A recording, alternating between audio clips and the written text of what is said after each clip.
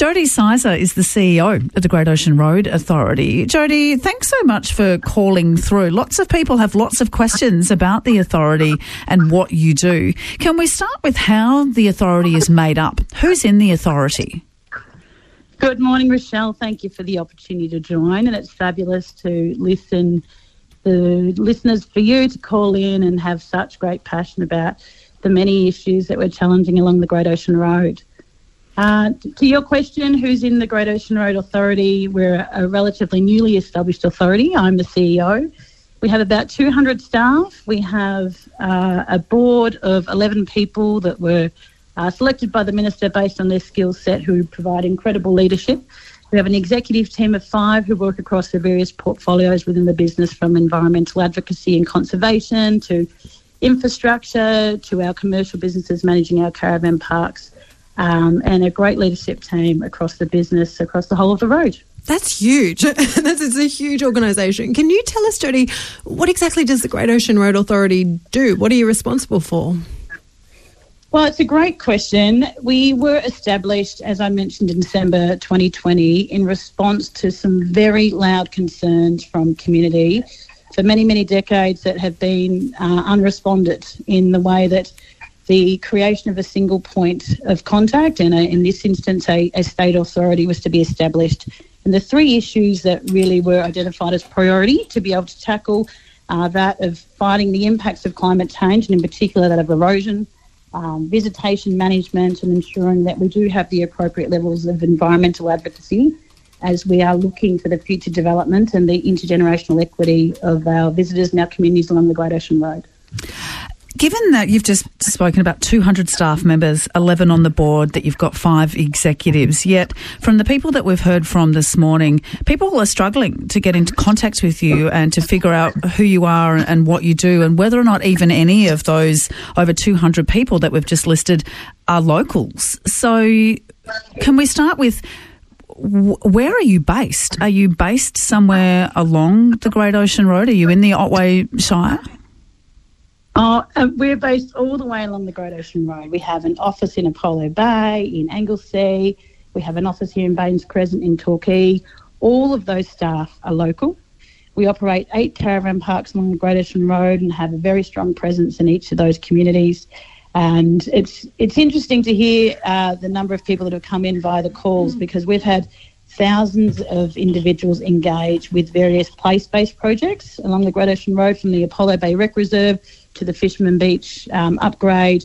Literally thousands on each of those projects that come with their individual views and their perspectives from their various community groups that are having important input into those projects. And Fisherman's Beach is a great example where we've listened to those community views, we've gone back to redesign, we've come back with another round of consultation. But um, 21 communities along the Great Ocean Road, Richelle, and some have various interest groups in, in Lorne, where I've spent a lot of time in the last couple of weeks, there's 12 interest groups that are represented by various committees, and we are meeting with them all. Yesterday, I spent the day at the community forum with Wye River um, at a fundraiser on Friday with the Lorne community. So we are um, many examples of engagement, but um, and in Skenes Creek, I heard the community member speak to Skenes Creek that uh, we met with the Skenes Creek Community Advocacy Group who had some great input into the redevelopment of Skenes Creek uh, camping reserve. It's one of those many mm. legacy issues. There's decades of legacy issues. And There's lots of legacy issues. it is, and it, we're here in the solution-focused um, uh, problem-solving mode and bringing a very new I, approach. Jodie, can I ask you about one of those solutions that we keep hearing about from people again and again? Just toll the tour buses. What do you reckon? Should there be a toll on the Great Ocean Road? Well, the Premier's already stated that there won't be a toll on the Great Ocean Road, but there are uh, a lot of considerations if we're going to adapt a approach to ensure the future generations are able to access the Great Ocean Road as we've always done. The tour, uh, tourism operators, I think we need to consider a sophisticated approach to how we are ensuring that the millions of people that come along the Great Ocean Road are spending more than their 18 cents, and the impact of their footprint is far greater than that. So we're leading this year uh, Vision 2100 strategic approach to say, Jodie, can I, the- Jodie, can I just jump in because I know we're coming up to the twelve o'clock news, and I really would like to just get a couple more questions into you because I think that's a really interesting one about about how we make sure that that money is being spent along the road. Is there a way of charging, say, registration or access fees or something like that, similar to what they do at Melbourne Airport, for example? That's not that, not strictly a toll, but it's a way of getting money back from the people using the road. Sorry, you're- you're absolutely right. And one of the primary um, drivers for us is everything that is earned along the Great Ocean Road is reinvested back into the Great Ocean Road, and that comes from all of our caravan parks, the leases, the license, the permit operating.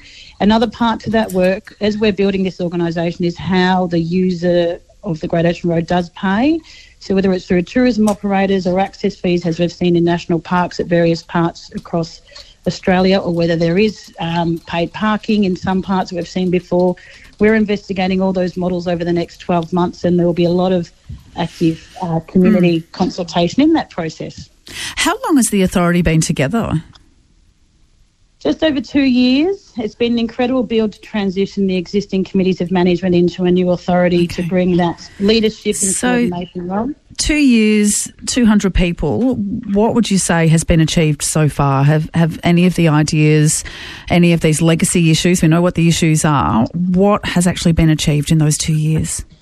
Oh, an incredible amount in transitioning and bringing together the uh, the organisation. Last year alone, we reinvested 19 million back into the Great Ocean Road itself. There's a significant amount of infrastructure that's being built. Um, Can you give us some million over- examples of that, Jodie? Like we've heard from people talking about toilets. There are no toilets along the Great Ocean Road. Have you built any toilets? yes, there's 44 I care about toilets toilets. along the Great Ocean Road. We're very passionate about toilets. how many? How many 44 toilets? Sorry. 44, I think, at my last recollection of the numbers. But we are undertaking a, a toilet strategy, and it's a great example well. That these, it sounds funny, but it's something No, that it's we hear not. most We're not laughing because it's funny. It's so necessary, but I'd love the idea that there's a toilet strategy. We've got a few texts that have come in here, Jodie, and, and, and people are saying, so how many more feasibility studies do we need before we get our walking track and cycling track? Someone else says, this sounds like engagement with no action. Please list the achievements from Jodie, uh, from Deb, sorry, in Port Melbourne. And a lot of people talking about a lot of talk but no action. So I think it is that question of what are you hoping to do this year? What can we see this year? Some really, can I give you a short snippet of some of the great activities Yes. over the last? And you will have to be short, Jodie. Apologies because have we're heading the news. Yep.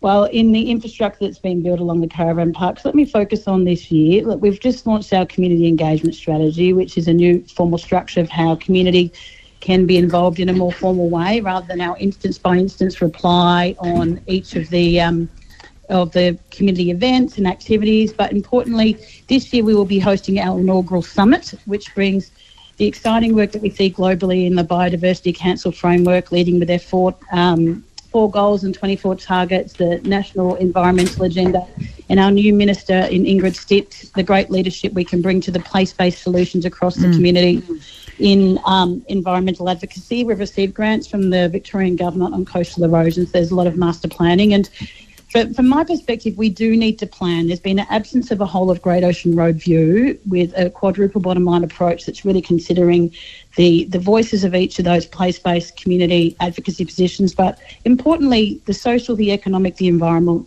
Environmental and the cultural that Yeah. has not been done before on a whole of picture basis, and the rights of the TOs have not been considered in a lot of the development thus far. So it's important that we do have a strategic approach, and then we can respond on an instance by instance basis. And I have an open invitation, an open door. So if people are not, you might regret that you've just said that, Jodie, but we appreciate the fact that you've called us anyhow and to try and get through some of those questions. And people can also head to the Great Ocean Road Authority. They can maybe email those, those questions through as well. Jodie Sizer, we appreciate you calling through. Thanks for your time. Thanks, Richelle. Anytime. See you.